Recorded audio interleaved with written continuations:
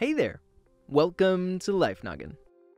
The internet is pretty awesome. We know this. It's what allowed my animator to create our wonderful Life Noggin universe. But as cool as the internet can be, it can also connect people in bad, malicious ways. It can be a place for hackers and data thieves to steal your personal information and then sell it to the highest bidder. So that makes me wonder, just how valuable is your information? The numbers vary between sources on a bunch of this stuff, but your credit card details could be worth anywhere from say $5 to $15 or more, depending on how complete the information is, while the login info to your favorite streaming service could go for about $10 to the right buyer. Oftentimes, the more the information is tied to your financials, and the more it's something that you can't easily change, the more it's worth to internet thieves. That's why your health record is a big one. A report from the FBI back in 2014 said that cybercriminals could sell electronic health records, or EHRs, on the black market at a rate rate of about $50 per partial record. To see the scope of how much that could add up, they reported that in the first half of 2013, they were over 2 million healthcare records compromised, at least that they knew about. It can be pretty difficult to know when there is a data breach in the healthcare space, often taking longer to identify than the other types of hacking. And these types of attacks are likely going to get even worse. An expert on cybersecurity said that ransomware attacks on hospitals are estimated to have a five-fold increase increase by the year 2021, compared to what they were in 2018. Though it's not even just malicious hacking that you have to worry about. A Protenus review of health data breaches in 2016 found that out of the 450 incidences they found, only a little under 27% of them were from hacking. With a mix of wrongdoing and human error, insiders in the healthcare space were actually responsible for about 43% of the incidences. You can apply the same logic to your own personal devices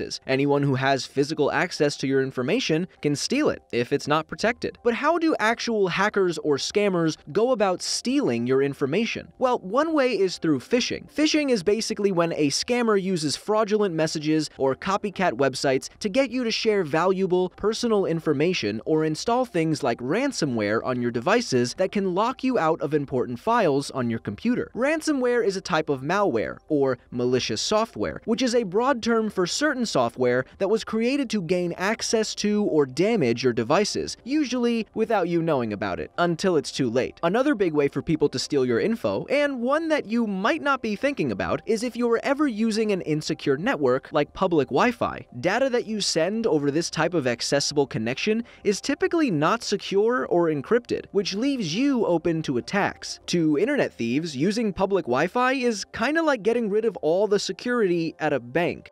So how much do you think your information's worth? Let me know the price tag in the comment section below. Curious to know if someone could hack your body? Check out this video. Implantable RFID chips are one of the most popular choices. These are commonly used in pets, but in humans can be programmed to unlock doors or smartphones. As always, my name is Blocko. This has been Life Noggin.